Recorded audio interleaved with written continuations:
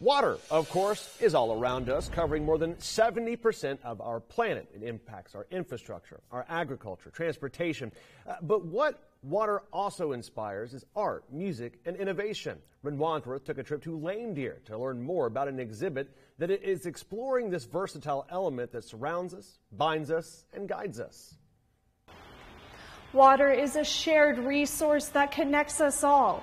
And to celebrate, explore, and question this connection, a traveling Smithsonian exhibit has set up shop at Chief Dull-Knife College here in Lame Deer.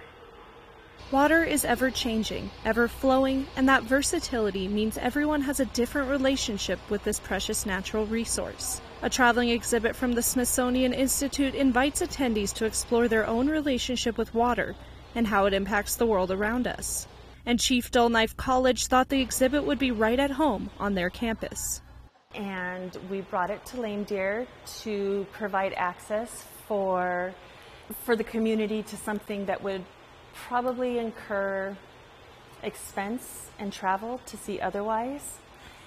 And we wanted to provide something pretty meaningful to draw attention to um, both cultural and academic influences that the Cheyenne people have had over water and natural resources.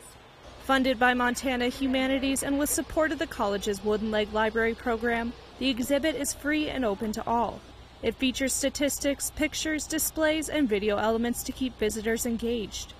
And the interactive components remind visitors of their constant connection to the elements. Waterways will be on display until the 3rd of November here at the Chief Dull-Knife College Student Activities Center. Ren Wadsworth, Nonstop Local. All right, Ren, thank you very much.